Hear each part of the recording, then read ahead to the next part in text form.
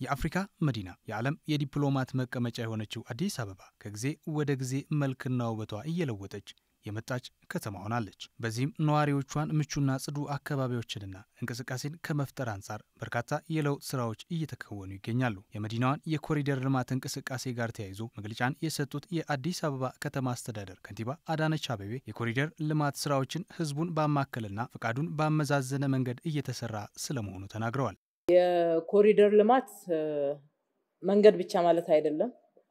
በመሰረተ ጽንሰ ሀሳቡም ከወሰድነው አጠቃላይ አካባቢዎችን መልሰው በማልማት ማገናኘት እና ኮሪደሮችን ማልማት ነው። ግን የኮሪደር ልማት ብቻ አይደለም እኛ ያደረግነው፣ አጠቃላይ ከተማ ማደስ አለበት።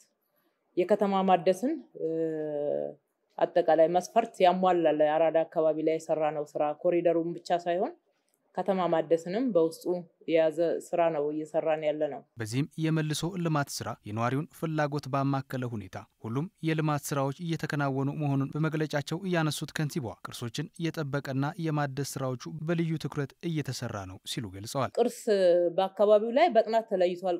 ቅርስ ህግ አለው። የቅርስ ባለስልጣን አለ። እንደ ፌዴራልም የከተማችን ባህልና ቱሪዝም ቅርስን ይንከባከባል፣ ቅርስን ይጠብቃል። እነኝን አካተናል።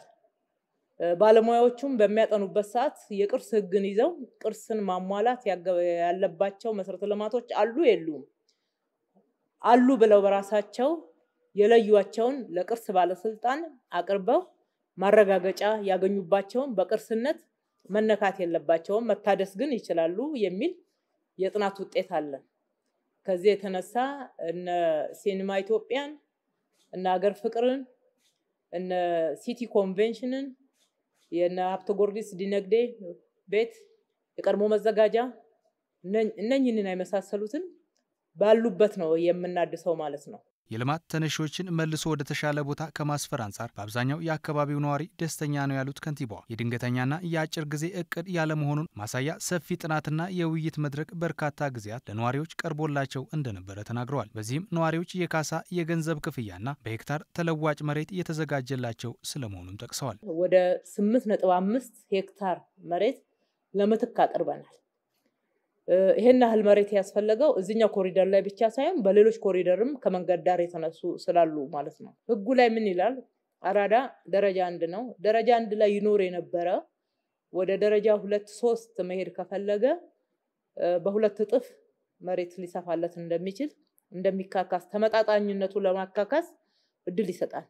ይህንን የመረጡትን ቦታውን በጣም ቢያወጡም አካባቢዎቹ ግን በህጉ መሰረት አስፍተን ለምሳሌ ከ25 ካሬ ጀምሮ የነበራቸውን እስከ 75 ድረስ አስተናግደናል። የልማት ተነሺዎች ወደ ሌላ ቦታዎች በሚዘዋወሩበት ጊዜ የተነሱበት ስፍራዎችና አካባቢዎች በአብዛኛው የህዝብ መገልገያዎች የሚሰራባቸው መሆኑን ከንቲባዋ ተናግረዋል። ከቦታው መነሳት ጋር ተያይዞ ለምን አገልግሎት ይውላሉ የሚለው በጥናት ተለይቷል። እያንዳንዱ ዝርዝር አሁን ለማንሳት አይመችም። በአብዛኛው ግን ለንግድ ስራዎች እና እንደዚህ ህዝብ የሚገናኝባቸው የሚገለገልባቸው ትልልቅ የመገናኛ ስፍራዎች ፊልም የሚታይባቸው፣ ቲያትር የሚታይባቸው ሰዎች በቀላሉ በእግራቸው እየተንቀሳቀሱ እየተዝናኑ ሳይክል እየነዱ የበለጠ የሰዎችን እንቅስቃሴና ግንኙነት ማህበራዊ ትስስርን ማጠናከር የሚችሉ አገልግሎቶች በቦታው ላይ እንዲቀጥሉ ይደረጋል ማለት ነው። ከካሳ ክፍያና ከተለዋጭ ቦታዎች ጋር ተያይዞ ቅሬታዎች ሲኖሩ የቅሬታ ሰሚ ግብረ ኃይል መቋቋሙ የተገለጸ ሲሆን ነዋሪዎች ቅሬታቸውን በተገቢው መንገድ እንዲገልጹም ከተማ አስተዳደሩ እንደሚያበረታታም ከንቲባው አንስተዋል።